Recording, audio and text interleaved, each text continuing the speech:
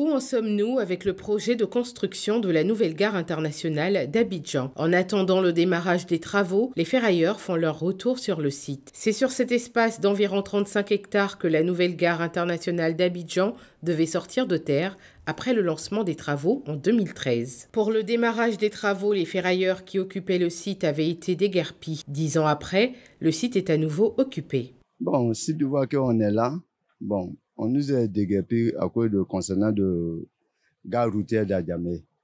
Bon, Dieu merci. Bon, on est là, nous on se débrouille à côté parce que le travail n'a pas encore commencé. C'est pourquoi on est là. Bon, on ne sait pas qu'est-ce ne va pas. Nous, ce qui est sûr, on se débrouille ici d'abord, en attendant.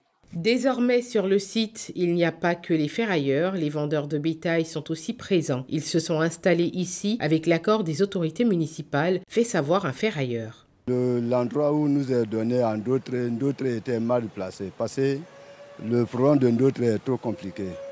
On ne sait pas qu'est-ce qui ne va pas. Bon, l'état qui nous a donné là-bas, euh, l'espace qui nous a donné, l'espace était un peu trop petit pour, pour, nous. Et puis tout le monde n'était pas encore euh, réhabilité là-bas, tout le monde n'était pas encore recensé. Dans le milieu de Furaille, ils ont pris un, un dans les magasins pour, pour pour les recenser.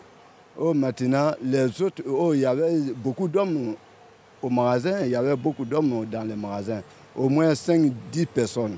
Si une seule personne est à un magasin, et les autres, ils vont laisser se débrouiller Mais en disant qu'ils ont, ils ont recensé les ferrailleurs, ils ont dédommagé 150 000, 150 000.